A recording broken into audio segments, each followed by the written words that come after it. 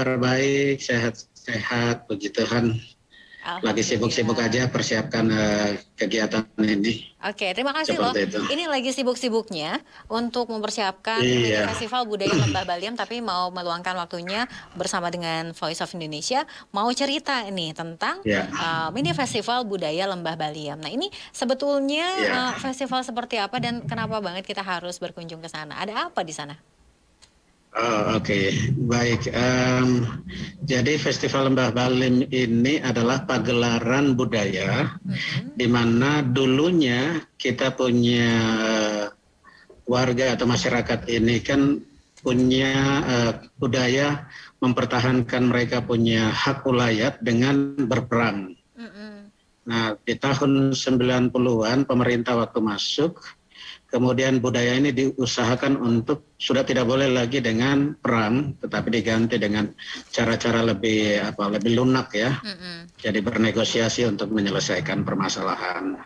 Jadi budaya ini sekarang ini sudah mulai berkurang, bahkan sudah tidak ada dalam berperang melawan uh, untuk memperebutkan mereka punya lahan dengan berperang. Tapi sekarang kita jadikan sebagai festival budaya yang menampilkan kembali cerita-cerita hmm. dalam bentuk atraksi perang-perangan atau perang suku. Okay. Kenapa sampai terjadi perang suku waktu itu? Oh, gara-gara memperebutkan lahan tanah misalnya. Hmm. Sehingga ini yang diceritakan kembali dalam bentuk narasi dan uh, apa namanya ya semacam atraksi ya, hmm. atraksi sehingga itu kemudian di sela-sela kegiatan utamanya atraksi perang-perangan hmm. ada kegiatan yang kita sebut olahraga ketangkasan bagi anak-anak remaja okay. jadi di zaman itu di zaman itu anak-anak ini karena dengan uh, kondisi waktu itu mempertahankan mereka punya wilayah harus kuat harus tangkas, harus nah ini.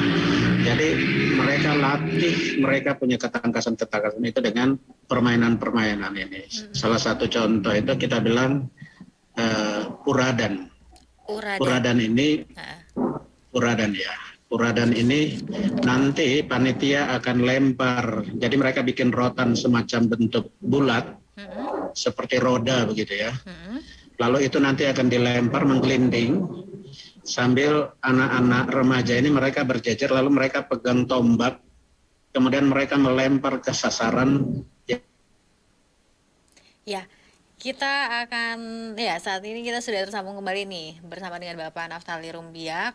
Yang kita tadi masih membicarakan ya mengenai mini festival budaya Lembah Balim yang mana ini tadi seperti saya kembali menyampaikan ya kalau di sana ini ada uh, berupa narasi dan atraksi. Nah ini kita sudah kembali lagi bersama dengan Pak Naftali. Selamat kembali bergabung Pak. Tadi kita uh, terakhir membicarakan mengenai uradan. Uradan ini uh, saya juga uradan. uradan. Ini saya baru dengar. Ini semacam olahraga ketangkasan yang khas dari sana juga berarti ya Pak ya? Iya. Mm -mm. jadi anak-anak dilatih bagaimana itu benda yang sedang bergulir mm-hmm. menggelinding ya mm-hmm. dia menggelinding kemudian mereka berjajar lalu mereka melempar tombak untuk masuk di tengah uh, roda tadi ya atau mm-hmm. bolongan yang di tengahnya itu dan menghentikan laju atau menggelindingnya bola tadi. Oh. Jadi itu dia punya salah satu ketangkasan mm-hmm yang kita munculkan kembali di ini sebagai pertandingan atau perlombaan hmm. bagi uh, anak-anak remaja atau orang-orang muda. Oke, jadi itu salah satunya. Uh, ini memang uh, mengangkat kembali kebudayaan yang mana ini bisa disebut tradisi yang uh, memang upaya tersebut tujuannya untuk pelestarian, begitu Pak? Betul, kita mengangkat kembali pelestarian sekaligus uh, untuk adik-adik ini yang juara ya pasti dapat hadiah lah ya. Oke. Okay. Karena pasti mereka uh, selain dapat apa uh, ketangkasan dan kesenangan, uh-huh. ada hadiah yang dijanjikan untuk yang memiliki ketangkasan tadi.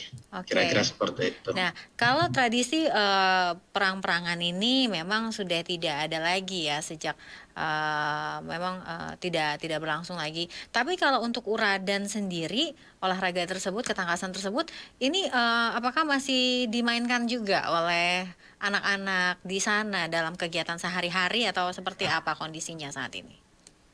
Uh, kalau kondisi saat ini kita sudah jarang sekali lihat ya. Hmm. Karena minta maaf mungkin walaupun internetnya lalot, hmm. tapi sekarang sudah lari ke arah digital dengan permainan-permainan game hmm. dan semacam itu ya, game offline, game online. Jadi permainan ini sudah jarang sekali kita lihat kecuali di acara-acara ini. Oh, Oke. Okay. Sementara di acara-acara lainnya sudah tidak tidak terlihat lagi.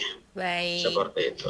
Oke, berarti ini menarik iya. sekali karena ada ada atraksi perang-perangan, ada juga uh, olahraga ketangkasan yang ya. hampir Tangkasan. sangat seling, sangat sulit untuk ditemukan. Kemudian ada apa lagi nih ya. Pak di festival ini? Uh, jadi khusus untuk turis asing, hmm. karena kami punya kegiatan ini setiap tahun itu uh, turis asingnya cukup banyak. Oh. Uh. Jadi kami siapkan uh, panahan panah apa namanya istilahnya memanah menggunakan panah tradisional. Mm -hmm. Jadi kami siapkan semacam uh, batang pisang, mm -hmm. lalu di situ uh, mereka akan memanah menggunakan uh, panahan alat mm -hmm. alat perang yang dulu dipakai itu ke nah ini sehingga kalau turis itu mereka juga berlomba jadi mereka bukan hanya sekedar datang nonton, lihat, tetapi kami ajak mereka untuk interaktif juga dalam kegiatan ini. Okay. Juga termasuk melempar tombak. Kita bilang di sini lempar CG. Jadi dua ini yang uh, kami prioritaskan untuk turis asing. Lalu kami siap memberikan hadiah-hadiah juga untuk mereka. Okay. Kalau itu. untuk turis asingnya Jadi ada sendiri, interaktif juga. Ini dari negara mana saja Pak yang biasanya hadir? Karena ini kan uh, acara tahunan ya Pak ya, dan setiap tahunnya pasti ada turis asing. Ya betul. Uh. Uh, ya, kita masih kembali mencoba untuk menyambungkan kembali kepada Bapak Naftali Rumpiak karena ini uh, ya akan menjadi satu hal yang menarik sekali. Ternyata di festival ini tidak hanya dihadiri oleh masyarakat atau juga uh, turis dari dalam negeri, tetapi juga dihadiri oleh turis mancanegara. Tadi kita belum sempat uh, membicarakan lebih lanjut nih. Kira-kira kalau dari turis mancanegaranya itu dari mana saja ya? Karena pastinya penasaran.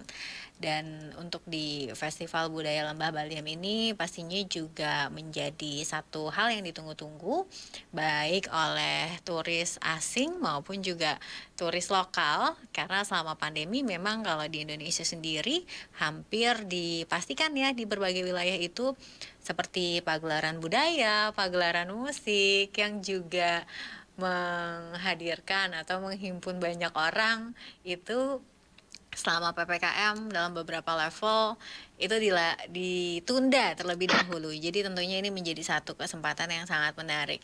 Apalagi ada turis mancanegaranya nih Pak Naftali nih. Dari mana aja tadi untuk ya, turis mancanegaranya negaranya nih? Ya, untuk tahun ini data mm -hmm. yang kami sudah peroleh itu ada dari Rumania. Wah, Rumania itu ya. sekitar Iya, Rumania 22 orang. Oke. Okay. Kemudian yang kami lihat tren yang lagi naik sekarang itu dari Rusia malah. Rusia. Pertama itu kami dapat data Rusia 12 12 orang, ternyata terakhir kemarin saya dapat laporan dari teman-teman tour guide yang jual paket wisata. Jadi sekarang sekitar 24 orang okay. dari Rusia. Rata-rata memang dari Eropa ya, hmm. setiap tahun kalau kegiatannya. Cuma setelah 2020, 2021 tidak diselenggarakan.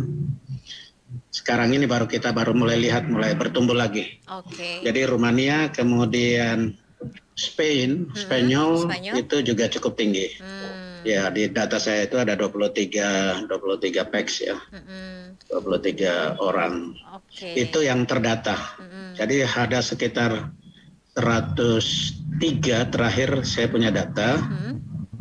yang akan menghadiri. Okay. Sementara target kami itu cuma 100 orang karena ini kan masa pandemi ya. Hmm. Kami berpikir ah, jangan muluk-muluk lah. Hmm Kalau tahun-tahun sebelumnya bisa sekitar 400 sampai 500 orang. Wah, banyak sekali ya. itu. Nah, ini apakah memang biasanya uh, di penyelenggaraannya ini disesuaikan juga berdasarkan dengan uh, tren tingginya kunjungan wisatawan mancanegara atau seperti apa sehingga bisa meraih uh, perhatian yang cukup besar dari turis mancanegara, Pak?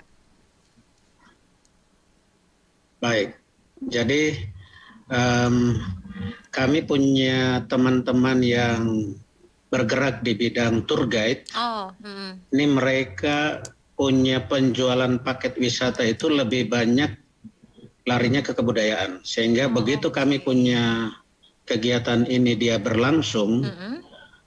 paketnya lebih larisnya ke Wamena dulu. Hmm. Sesudah Wamena baru waktu selesai kegiatan mereka akan kembali baru keliling Papua yang lainnya. Oh, oke. Okay. Itu dia punya paket wisata yang mereka tawarkan ke teman-teman uh, turis asing ya. Hmm. Makanya uh, waktu kami tidak selenggarakan, kasihan teman-teman guide ini mereka selalu meminta tolonglah hmm. Pemda membantu. Tahun ini kami tidak anggarkan, malah kelompok binaan kami yang bergerak. Ini yang saya sedikit uh, merasa bangga karena inisiatifnya muncul dari masyarakat. Hmm. Jadi mereka tidak menunggu Pemda bikin dulu baru mereka uh, terlibat. Oh baik. Nah ini uh, kalau untuk puncak acaranya atau puncak dari atraksi ini pastinya ketika perang-perangan ya Pak ya? Baik, kita akan kembali mencoba menghubungkan dengan Bapak Naftali Rumbiak uh, karena ini masih seru banget perbincangan kita masih sangat seru ketika kita membicarakan mengenai satu uh, paket wisata nih ya. Karena berbicara mengenai wisata di Papua uh, Anda tidak hanya sekedar berkunjung menikmati keindahan panorama alamnya yang memang sudah luar biasa, sangat dikenal bagi yang suka diving, tapi ketika Anda berkunjung ke Papua, Anda juga akan disuguhkan secara lengkap mulai dari uh, wisata alamnya, kemudian juga kuliner ya barangkali dan ini adalah uh, atraksi budayanya. Kita kembali lagi ke Bapak Naftali. Jadi pastinya ini merupakan satu paket lengkap ya Pak kalau berkunjung ke Papua nih ternyata. Saya yang di Jakarta Jakarta ternyata yeah. kalah sama yang dari Rusia, dari Rumania, dari Eropa yang udah berkunjung jauh-jauh menikmati keindahan Papua secara lengkap gitu ya. Nah, kemudian mungkin terakhir Pak, kenapa sih harus uh, berkunjung ke Papua dan khususnya juga menyaksikan pagelaran Festival Budaya Lembah Baliem ini dan kapan diselenggarakannya dan juga ajakan kepada pendengar Voice of Indonesia yang saat ini sedang mendengarkan. Ya, uh, orang selalu bilang bahwa Raja Ampat itu paling bagus di Papua. Hmm. Tapi saya bilang, kamu datang ke Raja Ampat hanya lihat bawah laut. Hmm. Tapi kamu tidak dapat budaya yang original seperti ada di Wamena. Hmm. Sehingga kalau kamu ke Papua lalu mau lihat aslinya Papua, harus datang ke Wamena. Okay. Dan di situlah gambaran asli daripada Papua itu sendiri. Karena di sini kita cuma dapat budayanya, alamnya, hmm. lalu di sini udaranya paling bersih lah. Udara Tidak terkontaminasi. Okay. Jadi dijamin. Iya, dengan dia punya kegiatan yang luar biasa, hmm. pulang tidak nyesal. Pulang gak nyesal. Kalau ya? datang pasti pulang tidak nyesal. A iya. Atau pengen kembali lagi Dan ke sana walaupun ya, biaya mungkin kita keluarkan harus datang Ibu. Kalau tidak pernah injak Wamena itu belum injak Papua Ibu. Okay. Itu uh, moto yang sering kami bilang. Hmm. Kalau tidak injak Wamena bukan datang di Papua. Itu masih jalan-jalan saja itu di pinggir-pinggir. Kalau sudah datang di Wamena baru sudah tiba di Papua. Oke. Mungkin Ibu. Baik. Ya semoga yeah. kita semua bisa uh, suatu saat nanti ya ke Wamena ya untuk Bapak Naftali Rumbiak terima kasih sudah meluangkan waktunya dan atas iya. cerita-ceritanya yang membuat kita semua sih rasanya pengen mencoba juga nih seperti apa sih uh, keindahan alam di Wamena yeah, dan juga atraksi budayanya. Jadi tunggu kami di Wamenamu ya Pak. Siap, siap. Baik. Harus datang. Baik, Jangan Pak. sampai pemekaran besok, pemekaran DOB yang baru kemudian tidak diselenggarakan lagi, sudah kita nggak pernah lihat lagi.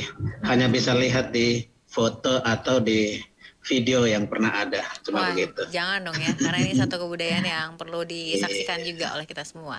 Harus dilestarikan. Baik. Betul. terima kasih bapak. Selamat kembali beraktivitas dan juga Sama. sukses untuk kegiatan mini festival budaya lembah Balim. Terima kasih. Ya terima kasih Ya, pendengar Voice of Indonesia itu tadi bincang-bincang kita bersama dengan Bapak Naftali Rumbiak selaku Kabit Destinasi dan Pemasaran di Sbutpar Kabupaten Jayawijaya. Satu, uh, kita baru berbicara mengenai Wamena nih. Kalau mau berbicara mengenai wisata yang ada di Indonesia nih memang ada banyak banget dan gak akan habis. Jadi kalau Anda ingin mencari informasi mengenai destinasi wisata, di Indonesia. Jangan ke mana-mana, tetap bersama kami di Voice of Indonesia dan Indonesia untuk dunia.